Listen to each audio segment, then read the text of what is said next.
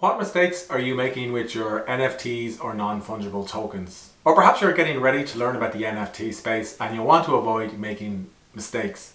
Hi there, my name is Brian Collins and welcome to the Creator Economy Show. In this video, I'm going to cover some of the mistakes you must avoid if you want to get involved in the NFT space. These are some of the mistakes that I made and that other NFT holders and creators I know have made. If you like the content in this video, don't forget to press thumbs up. If you want to get more videos like this about NFTs or the creator economy, don't forget to subscribe to the channel. Now remember, before I get into this video, the content is for informational purposes only. NFTs are incredibly risky. Many will go to zero, which I'll talk about in this video. And you got to do your own research. I'm not a financial advisor, so play it safe. Let's get into it. The first mistake that many new people make with NFTs is buying cheap ones at random. The first time I went on to the NFT marketplace OpenSea, I went over to the rankings tab like I do on a cryptocurrency exchange and I looked at the top 20 NFTs. Couldn't believe the floor price of some of the top NFTs. If you're new to NFTs, floor price represents the minimum amount that an NFT is being bought and sold for on the secondary market. Many of these were trading for several dozen each, which represents tens of thousands of dollars. So I went all the way down the rankings page to find much more affordable NFTs, and I picked up one or two which cost me a couple of hundred dollars. I found out later that these NFTs were dead projects because I hadn't done my research. So before you buy an NFT, spend a little bit of time learning about the project. What does that involve? Well, it starts with going on Twitter and finding the NFT account, seeing when the account was set up and how engaged its social media followers are. Next, you got to go over to the NFT project's website, find a roadmap if there is one, because often there isn't, try and learn more about the team, and look for an invite to their Discord. Once you join the Discord, um, spend a bit of time interacting with the community and reading up on some of the threads and asking yourself how many people are in the community. And while you're in there, don't react or respond to any direct messages from other people because chances are they're scammers. Because remember, scammers can join these, these Discord communities for free. When you've joined a few communities, when you've read a few roadmaps, and you've gotten a handle for the project in question, you can use NFT websites like rarity.tools to learn about upcoming projects. Then when you know what your budget is, you can go over to OpenSea and buy your first NFT. When you're ready to buy your first NFT, I'd actually recommend buying one not on the Ethereum blockchain, but on Phantom or with a Phantom wallet, wallet using Solana or a different type of blockchain because it'll be far cheaper and you won't have to spend money on gas fees. Gas fees is basically the cost you pay to use the Ethereum blockchain and many blue chip NFTs cost hundreds of dollars to interact with before you've even purchased one. The second mistake you can make with an NFT is buying one and expecting to trade it for a quick flip. Now, eh, the price fluctuations of NFTs are insane. NFTs can go from 1 ETH to 10 ETH, back to near zero, all in the course of a couple of weeks. So you gotta prepare yourself for this. And when you're looking at all these crazy price fluctuations, it can seem tempting. You can say to yourself, well, if I just bought this, held on to it for two or three weeks and I might be able to flip it for a huge profit. Potentially, but you may also get wrecked. That's wrecked spelt with an or, and that's crypto slang for wiped out. If you're planning on day trading NFTs, I hope you have a huge budget of tens of thousands because you're going to incur a lot of gas fees, which I talked about a moment ago, to buy and sell them. And chances are some of the NFTs you buy will go to zero. In fact, most NFT projects will go to zero because the space is so new. So when you're buying an NFT, perhaps only buy one because you like the artwork, you like the project, or you simply want to learn more about the space. Write it off, assume it's going to become worthless. Sure, that NFT may become worth something in a couple of years' time, but chances are it won't. The third mistake that many people make with NFTs is not securing them correctly. So when you want to buy an NFT, basically you have to use a software wallet like MetaMask. You'll load up on Ethereum on a cryptocurrency exchange like Coinbase or Binance, transfer the Ethereum to your MetaMask wallet, and then buy on OpenSea. The process is a little bit different, you'll be using different blockchain, but you still use a software wallet and the principles are the same. Software wallets are fantastic because they enable people to buy and sell NFTs quickly and easily. Unfortunately, they can also be easily hacked.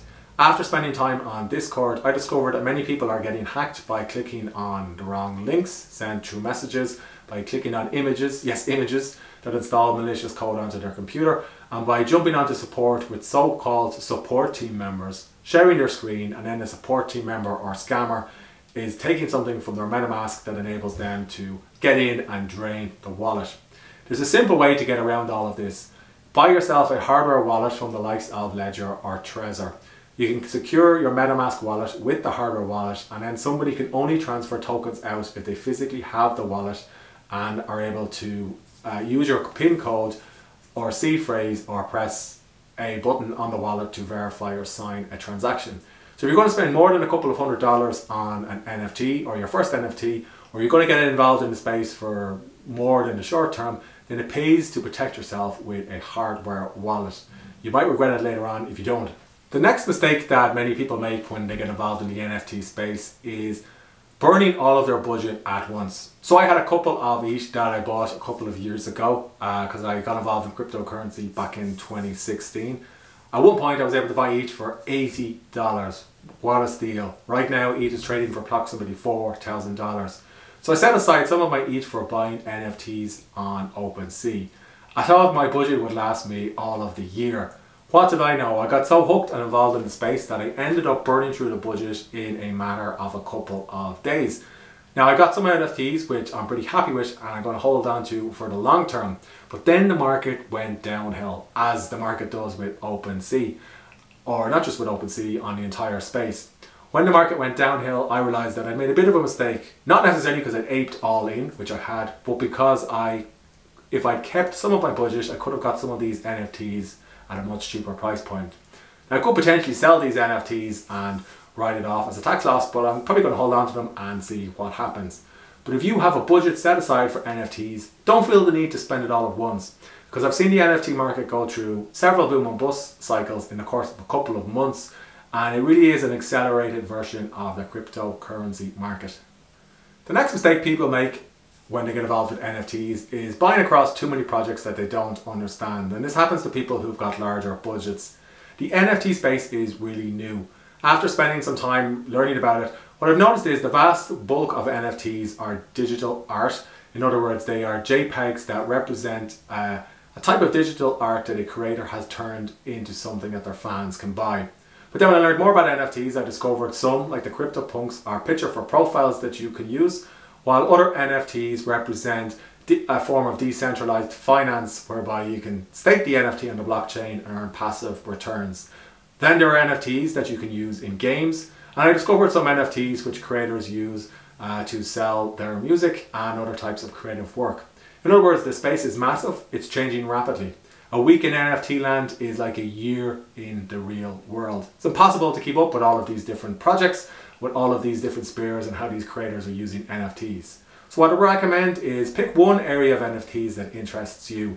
It could be avatar type projects like CyberKongz, or it could be decentralized finance type projects like Anonymice. Learn all about the project, learn about the roadmap and the team, and learn about different projects. And only when you've learned about this type of project, then you can move on to the next one. And this will prevent you from aping all in and spending all your funds on different projects that you don't understand. The sixth mistake that people make with NFTs is not holding on to them for the long term. NFTs aren't usually quick flips unless you really know what you're doing. Think back to uh, Bitcoin when it first came out in the late 2000s. In 2010, Florida man Laszlo Hanyecz bought and ordered two pizzas for approximately 10,000 Bitcoin. Because back then Bitcoin was worthless, or so it seemed. Last time I checked, those Bitcoin are worth approximately $630 million. It's the same with some NFTs and I use some with a asterisk and in bold. If you had minted one of the CryptoPunks back in 2018, it would have cost you the cost of gas. Now they're regularly selling for seven or seven figures and that's if you could even buy one.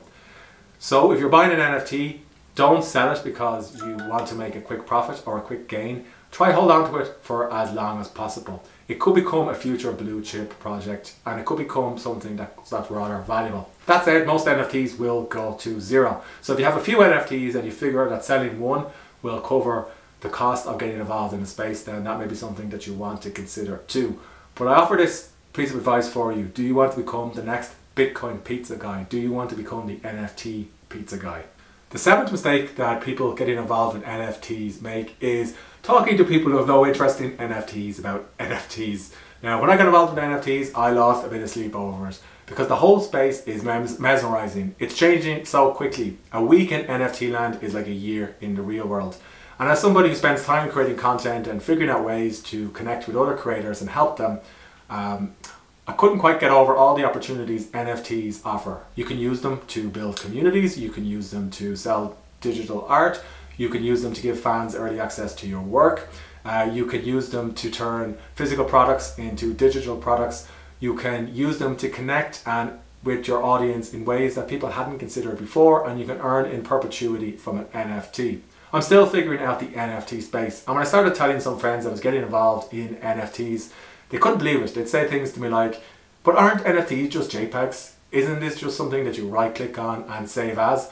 One friend even messaged me to say, are you really spending money buying fancy little pictures? So I stopped telling some of my friends had no interest in NFTs all about my NFT habit.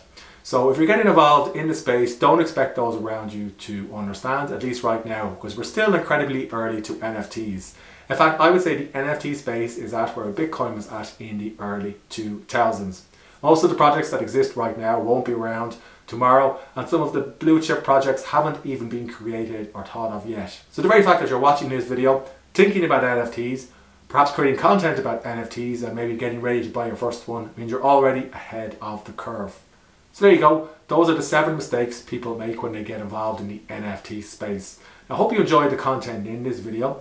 If you like this video, please watch one of the other ones on the channel and don't forget to subscribe to get my latest content and let me know in the comments section below if you've got feedback or questions about topics you'd like me to cover.